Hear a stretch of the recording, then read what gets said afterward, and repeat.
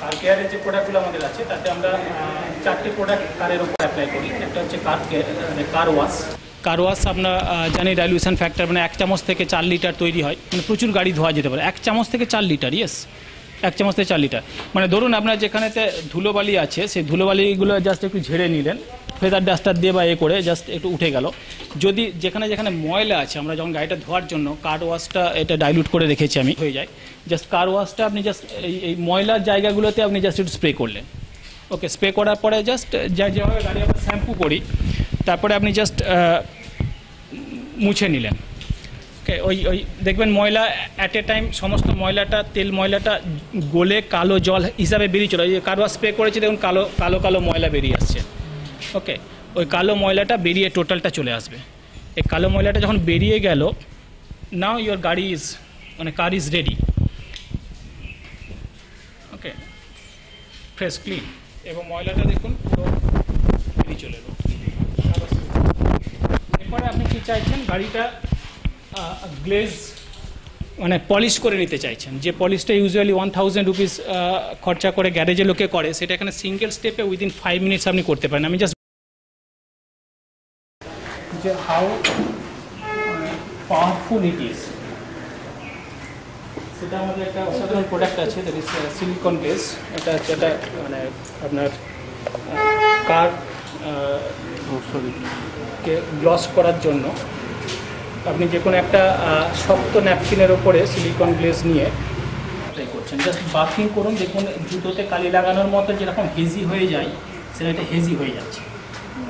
আলোটা একটু কমে গেছে বলে দেখা যেত। মানে আপনার লসটা পুরো চলে গেল রাইট এটা একটু মন খারাপ হয়ে যাবে তাই না? কিন্তু যত ময়লা জমে আছে না ওই সিলিকন ড্রেস ওটাকে টেনে বের করে ওকে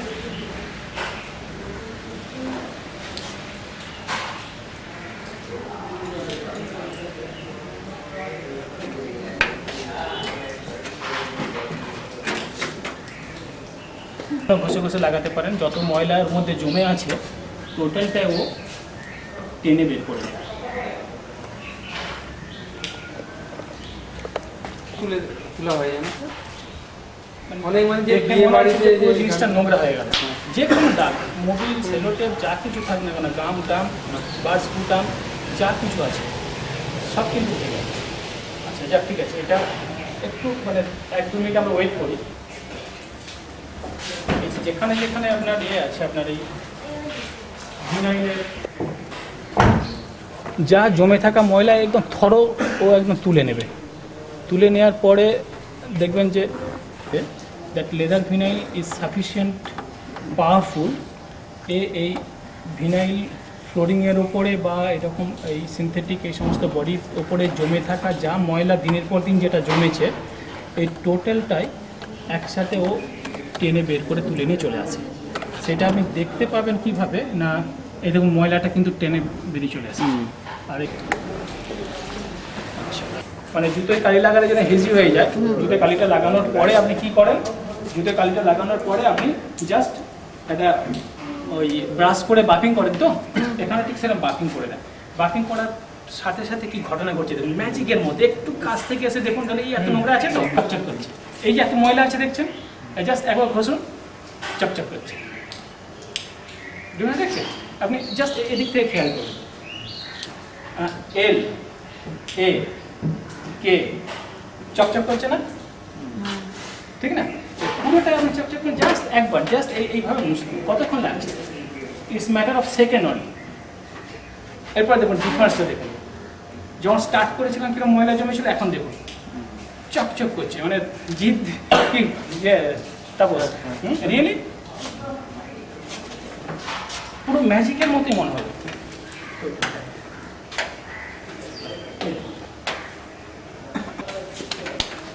যখন আমি সিলিকন গ্লেস অ্যাপ্লাই করছিলাম, নতুন লোক হলে মনে হবে যে রে সুন্দর গাড়িটা নষ্ট করে দিল। হ্যাঁ? সেগুলো তো ওর মধ্যে জমে চেপে বসে আছে। সেইগুলো গলিয়ে গলিয়ে তুলছে প্লাস সিলিকন অয়েলটা এর মধ্যে ঢুকে যাচ্ছে। এর মধ্যে যে ল্যাকারিং করা যেটা আমাদের সিলিকন অয়েলটা ঢুকে যাচ্ছে। এরপর যখন আমি এই, এতে ঘষছেন, তখন ওই ময়লাওয়ালা জিনিসগুলোকে কিন্তু ও কিন্তু ওপরে ভাসিয়ে দিয়েছে। ওই ড্রাই করে ওটা ভাসিয়ে দিয়েছে ড্রাই পাউডার করে। জাস্ট এই একটা ন্যাপকিনে করে জাস্ট এই আলতু করে আপনি মুছে নিলেন টোটাল ময়লাটা উঠে বেরিয়ে চলে এলো সিলিকন অয়েলটার মধ্যে প্রোটেকশান দিল। ওইটা ঠিক হয়ে গেল। এতে মরচে পড়বে না। এটা আমি বাড়িতে চলুন, আমি দেখাবো। এতে এটা মানে প্রোটেকশন পাওয়ারটা কতটা বাড়িয়ে দেয় তারও প্রমাণ দেবো দেখলেন, আমি ওই নিচে অ্যাপ্লাই করে দেখালাম গাড়িতে মানে গাড়ির ভেতরের ইন্টেরিয়ারটাকে আপনার মেনটেন করার জন্য, আবার নতুন স্টেজে নিয়ে যাওয়ার জন্য।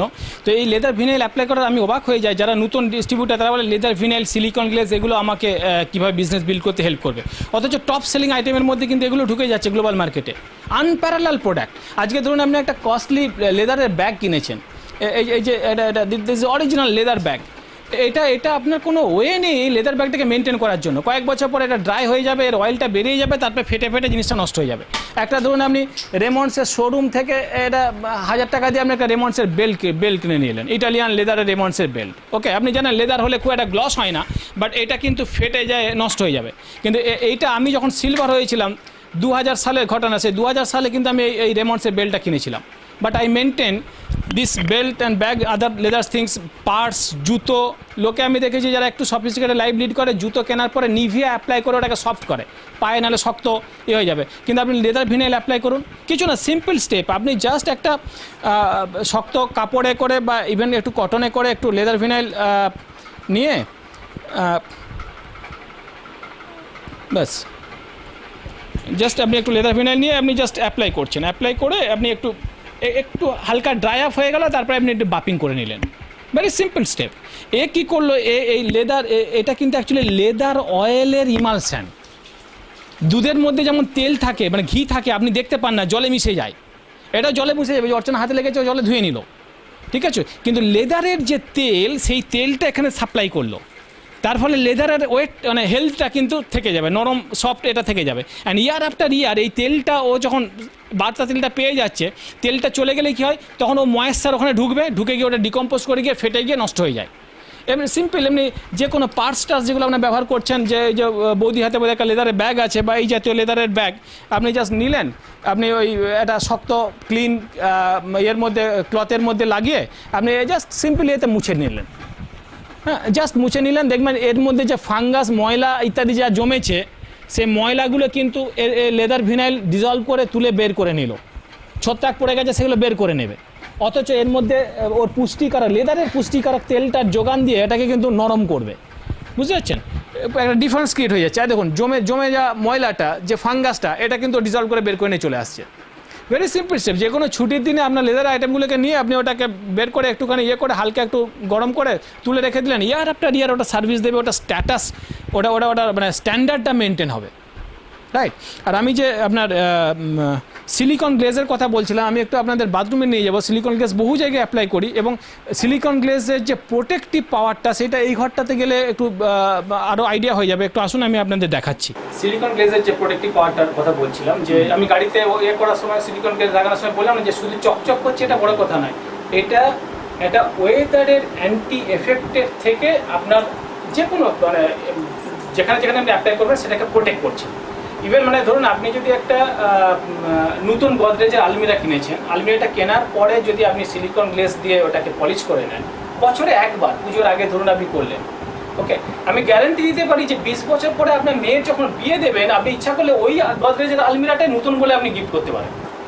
এটা একদম অ্যাজ ইট ইজ থাকবে। এই বাড়িটা যখন আমি দু হাজার চার সালে বানাচ্ছে মানে ইন্টেরিয়ার ডেকোরেটের লোকজন আমি তখন সিলিকন গ্লেসের ব্যাপারটা জানি বলে আমি ওদেরকে দাঁড়াও আমি একটা জিনিস নিয়ে আসছি বলে বাড়ি থেকে সিলিকন ওই বাড়ি থেকে ওই ফ্ল্যাট থেকে সিলিকন গ্লেস নিয়ে এসে এগুলোর উপরে একটু অ্যাপ্লাই করেছিলাম। রাইট এবং ইচ্ছা করে তখন আমি কি করলাম যে ঠিক আছে আহ, সবাইতে অ্যাপ্লাই করছি আদৌ এটা তখন নতুন বেলায় সব চকচক সোনালি রং আদৌ এটা কাজ করে কিনা এটা এ করার জন্য তখন আমি কি করলাম পাশাপাশি একটাতে অ্যাপ্লাই করলাম একটাতে অ্যাপ্লাই করলাম না। ঠিক আছে? ওটাতে একটাতে অ্যাপ্লাই করলাম, একটাতে অ্যাপ্লাই করলাম না।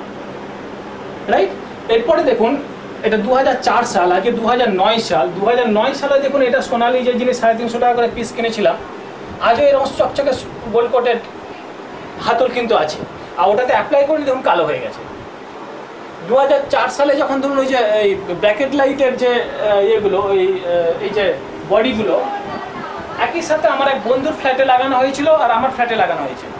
আমি জাস্ট লাগানোর সময় একবার মেনটেন করার সময় নেই, বুঝতে পারছেন? হাজব্যান্ড ওয়াইফ বিজনেস সার্ভিস সব কিছু মেনটেন করে টাইম থাকে না। স্টিল এটা যখন ফিক্স করা হয়েছিল, আমার মনে আছে, আমি একবার সিলিকন গ্লাস কোট করেছিলাম। আজও দেখুন এই বডিগুলো নতুন আছে। আর আমার বন্ধুর ফ্ল্যাটে গিয়ে দেখি যে চিনতে পারি না, কালো এরকম কালো বাটি বসানো আছে। বুঝেছেন? এভরিওয়ার আপনি সিলিকন গ্লাস অ্যাপ্লাই করতে পারেন মেঝেতে করবেন না, আপনি মানে মানে পা পিছলে যেতে পারেন বাথরুমে ধরুন আমি টাইলসের ওপর অ্যাপ্লাই করব। ঠিক আছে? জাস্ট ওই একই রকমভাবে আপনি এলওসি দিয়ে টাইলসটাকে ঘষে নিলেন। ঘষে নিলে আপনার টাইলস ক্লিন হয়ে গেল। অ্যান্ড দেয়ার আফটার আপনি এই সিলিকন গ্লেস নিলেন। সিলিকন গ্লেস নিয়ে ধরুন আপনি এই অ্যাপ্লাই করুন। জাস্ট ঘষে ঘষে লাগানো। আপনি একই রকমভাবে আপনি একটা একটা পিস করে আপনার কাজের মেয়েকে দেখিয়ে দিলেন। ও ও সারাদিন ধরে ওটাকে টোটাল বাথরুমকে চকচকে করে দিল। জাস্ট আপনি ওয়ান বাই ওয়ান ওই ক্লিন টাইলসের ওপর এইভাবে রাব করতে করতে ঘষে ঘষে যাচ্ছেন। ও কি করবে? টাইলসের ওপর হালকা যে ময়লাগুলো জমে আছে, সেই ময়লাগুলোকে ডিজলভ করে বের করে দেবে। আর at the same time silicone অয়েলের একটা প্রোটেক্টিভ লেয়ার ও দিতে দিতে চলে যাবে। ঠিক আছে? তো এই জাস্ট আমি ধরুন এই- তিনটে টাইলসে লাগালাম। তারপরে আপনি এই- লাগাতে লাগাতে যাচ্ছেন। লাগাতে লাগাতে যেতে যেতে কী হবে? ও এক সময় ও- ও- ওটাও দু তিন মিনিটের মধ্যে ড্রাই হয়ে যাবে, শুকিয়ে যাবে, যেরকম গাড়িতে যেরকম দেখলেন।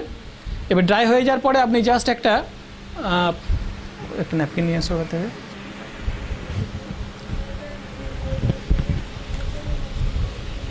এই অ্যাপ্লাই অ্যাপ্লাই করার পর একটা লিন ফ্রি ক্লিন কটন দিয়ে জাস্ট ঘষে নিলেন, মুছে নিলেন।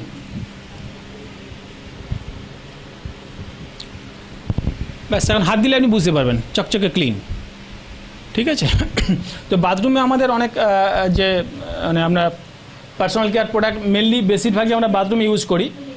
এগুলো যেমন ধরুন আপনি যখন স্নান করছেন ইউজুয়ালি আমরা বডি শ্যাম্পু ইউজ করি রাইট পার্সোনাল কেয়ার পাম্প একটা বডি শ্যাম্পুর কন্টেনার থেকে বাড়ির সবাই ইউজ করতে পারে।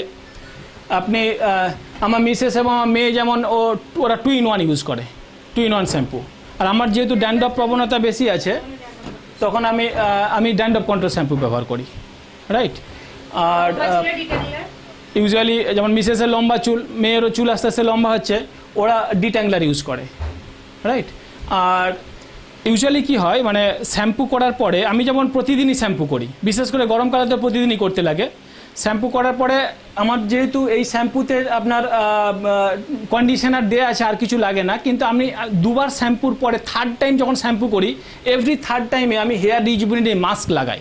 মানে যে যেটা আমার মানে চুলের যে ড্যামেজটা হলো সেরামাইড ইনফিউশন সেরামাইড ইনফিউশন এতে দেওয়া আছে সুতরাং ওই ড্যামেজটাকে পূরণ করে দেয়। আর অর্চনা বা আমার মেয়ে কি করে ওরাও হ্যাঁ লম্বা চুলের জন্য ওরা ডিট্যাংলারটা ইউজ করে আবার ওই একই রকমভাবে দু- তিনবার শ্যাম্পুর পরে একবার কি করে ওরা ওই হেয়ার রিজুবিলিটি মাস্কটা ইউজ করে রাইট আর আপনার মোটামুটি আপনার যখন যা প্রমোশন দেয় আমরা স্টক করে নিই, এই বাথরুম ওই বাথরুমে মিলে সারা বছরে আমরা সাজিয়ে নিই। আর এইখানে এসে আমরা যা ছেলেরা যেটা করি, সেটা হচ্ছে যে যখন ধরুন আমি যেদিনে হেয়ার রিজুবিলিটি মাস্ক ইউজ করি, সেদিনের সিকোয়েন্সটা এরকম করি যে প্রথমে আমি মাথাটা পরিষ্কার করে হেয়ার রিজুবিলিটি মাস্ক লাগিয়ে নিলাম। এবার লাগিয়ে নেওয়ার পরে আমি আসি আমার সেভিং করার জায়গাতে। এখানে যেটা করি, সেটা আমি আপনাদের দেখিয়ে দিতে পারি। থাকে, হাতে যে নোংরা কালি টালি আছে। এখানে যেটা